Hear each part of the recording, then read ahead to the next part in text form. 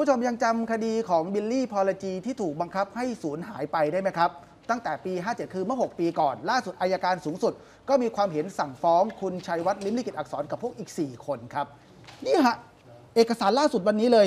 สำนักงานอัยการสูงสุด ส่งถึงอธิบดี DSI ยืนยันบอกว่าอัยการสูงสุดมีความเห็นสั่งฟ้องคุณชัยวัฒน์ลิ้มลิขิตอักษรกับพวก 4 คน ใน 4 ข้อหาครับร่วมกันฆ่าผู้อื่นโดยไตร่ตรองไว้ก่อน ร่วมกันใช้อาวุธข่มขืนใจผู้อื่น ร่วมกันขักขังหน่วงเหนี่ยว ร่วมกันทุจริตหรืออำพรางคดีครับ เพราะว่าจากการไปตรวจสอบแล้ว มีการบังคับให้สูญหาย คือเขาบอกแบบนี้นะ แม้ว่าจะมีการไปตรวจหลักฐานต่างๆ เพิ่มเติมแล้วก่อนหน้านี้เนี่ยทำคดีมาจนถึงวันนี้6ปีแล้วนะครับ หลังจากนี้อายการสูงสุดก็มีความเห็นสั่งฟ้องไปแล้ว ก็จะประสานให้ DSI นำตัวคุณชัยวัฒน์กับจำเลยมาส่งฟ้องต่อศาล ซึ่งก่อนหน้านี้ครับ คุณชัยวัฒน์ก็ถูกกระทรวงทรัพยากรธรรมชาติและสิ่งแวดล้อม ปลดให้ออกจากราชการไปแล้ว แต่เมื่อ 2 สิงหาคมปี 65ศาลปกครองเพชรบุรี มีคำสั่งให้ทุเลาครับ ให้คุณชัยวัฒน์กลับเข้ามารับราชการชั่วคราวได้ แต่หลังจากนี้จะต้องถูกดำเนินคดีครับ ซึ่ง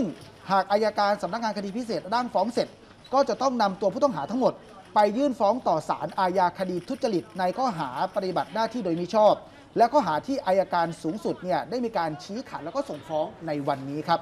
ทีนี้ทีมข่าวของเราก็ติดต่อไปยังคุณชัยวัฒน์ทันทีครับ คุณชัยวัฒน์ก็บอกสั้น ๆ บอกว่า เพิ่งจากทราบข่าวที่ถูกฟ้องจากสื่อ แต่เข้าใจแหละ และมองว่าเป็นเรื่องที่ดี ตอนนี้เรื่องไปถึงศาลแล้ว หลังจากนี้ก็จะเตรียมเอกสารหลักฐาน เพื่อที่จะต่อสู้ตามขั้นตอนของกฎหมายต่อไป เมื่อเข้าสู่กระบวนการแล้วก็จะนำเอกสารไทม์ไลน์ทุกอย่างเอามาต่อสู้ เพราะทุกอย่างเกิดขึ้นได้แล้วก็มีการเรียบเรียงมาเป็นอย่างชัดเจนเลยครับพร้อมกับทิ้งท้ายบอกว่า กระดูกชิ้นที่พบเนี่ยเป็นของบิลลี่จริงหรือเปล่าจำกันได้ไหมฮะ ก่อนหน้านั้นหลายหน่วยงานเลย ไปงมหาเถ้ากระดูกของบิลลี่ที่บางกลอยอะครับแม่น้ำเพชรบุรีจำได้ไหมที่เป็นสะพานโกลเด้นเกตอะครับ จุดนั้นแหละฮะที่ไปงมหากระดูกมา เนี่ยครับจุดนี้ เมื่อ 2 ปีก่อนไปงมหา ซึ่งวันนี้แหละคุณชัยวัฒน์ตั้งคำถามบอกว่า กระดูกชิ้นที่พบเป็นของบิลลี่จริงหรือเปล่าอะก็พร้อมต่อสู้ไป ทีนี้ทีมข่าวของเราก็สอบถามไปยังพิณนภาพฤกษาพรรณหรือว่ามึนอภรรยาของบิลลี่ เธอก็บอกว่า วันนี้รอฟังข่าวดีมานานแล้ว หลังจากนี้ขอให้ทุกอย่างเป็นไปตามกระบวนการของกฎหมาย เชื่อว่าหากชาวบ้านและญาติพี่น้องหมู่บ้านบางกลอยเห็นข่าวออกมาแบบนี้ ก็รู้สึกเช่นเดียวกันคือ ต้องรู้สึกดีใจและพอใจ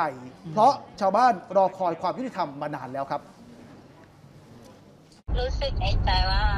รอฟังข่าวแบบนี้มานานแล้วอะค่ะชาวบ้านแล้วว่าญาติพี่น้องในหมู่บ้านเขาเขาก็ต้องการที่เห็นข่าวออกมาเป็นอย่างนี้แล้วอยู่แล้วอะค่ะหมายถึถ้างถ้าถ้าทุกคนรับรู้เขาก็จะพอใจอะ ต้องรอให้ไปด้านกฎหมายดำเนินการต่อไปอะคือแม่นอก็บอกว่าหลังจากนี้ก็เกรงกลัวนะ เรื่องของผู้มีอิทธิพล แต่เธอบอกว่าต่อสู้เพื่อทวงคืนยุติธรรมให้สามีมานาน 6-7 ปีแล้ว ยังไงก็แล้วแต่จะต่อสู้ต่อไปค่ะเนี่ยนะครับอะเราจะได้ดูนะคะว่าตกลงแล้วบทสรุปคืออะไรครับของคดีนี้นะคะ วันดี สนุกฟรี ดีทุกวัน วันดีโหลดฟรีได้แล้ววันนี้